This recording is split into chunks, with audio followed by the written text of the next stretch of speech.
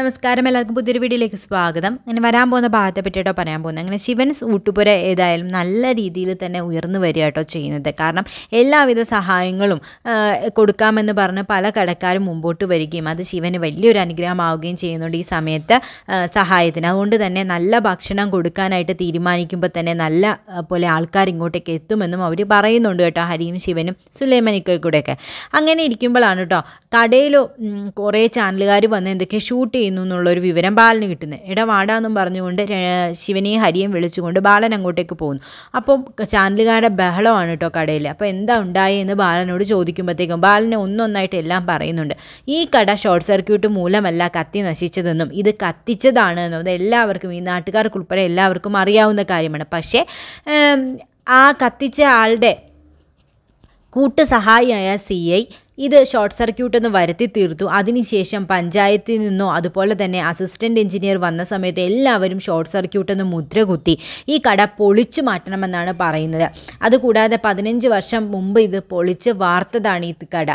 ഈ കടയ്ക്ക് ഒരു വയറിങ്ങിന് ഒന്നും തന്നെ ഒരു കോട്ടവും തട്ടിയിട്ടില്ല എന്നും തുറന്നടിക്കട്ടോ ചെയ്തു. ഇതിന്റെ പിന്നിൽ ഗൂഢലക്ഷ്യത്തോടു കൂടി ചിലർ പ്രവർത്തിക്കുന്നതാണെന്നും ആ ഗൂഢലക്ഷ്യം ഇല്ലാതെ ഇല്ലാതെയാക്കുന്നതിന് വേണ്ടിയിട്ടാണ് ഞങ്ങൾ ഈ വാർത്ത കൊടുത്തതെന്നും പറയുന്നത്. അങ്ങനെ എണ്ണി എണ്ണി എല്ലാവരുടെ പ്രവർത്തിയും സി എയുടെയും അസിസ്റ്റന്റ് എഞ്ചിനീയറുടെയും പഞ്ചായത്ത് സെക്രട്ടറിയുടെയും എല്ലാവരുടെയും കാര്യങ്ങൾ പറയുന്നുണ്ട് കേട്ടോ. എല്ലാവരും പെടുകയാണ് അതോടുകൂടി കേട്ടോ.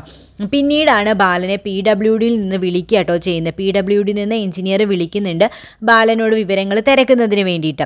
അപ്പോൾ ഉടനെ ഈ വാർത്ത വന്നതിന് ശേഷം അഞ്ജുവിനും അപ്പുവിനും ഒക്കെ ഭയങ്കര ആവേശമാവുന്നുണ്ട്. അഞ്ജു പറയുന്നുണ്ട് ബാലേട്ടൻ എല്ലാ കാര്യങ്ങളും എണ്ണി എണ്ണി പറഞ്ഞു. ഇനിയിപ്പം ഒരാളും രക്ഷപ്പെടില്ല. ആ സി എയും പഞ്ചായത്ത് സെക്രട്ടറി എല്ലാവർക്കും കണക്കിന് കിട്ടി. ആരെങ്കിലും പിറകിലുണ്ടെങ്കിൽ തന്നെ ഇനി പുറത്ത് വരിക തന്നെ ചെയ്യുമെന്ന് പറയും. അത് ശരി അഞ്ജു എന്ന് അപ്പവും പറയുന്നുണ്ട്. പക്ഷേ ദേവിയുടെ മുഖത്തൊരു വിഷമാണ് കേട്ടോ. ഇനി ഇതുകൊണ്ട് വേറെ വല്ല പൊല്ലാപ്പുകൾ ഉണ്ടാകുമോ കട തുറക്കാൻ എന്തെങ്കിലും കാലതാമസം വരുമോ കട പൊളിക്കേണ്ടി വരുമോ എന്നുള്ള ടെൻഷനൊക്കെ ദേവിയുടെ മുഖത്ത് കാണുന്നുണ്ട്.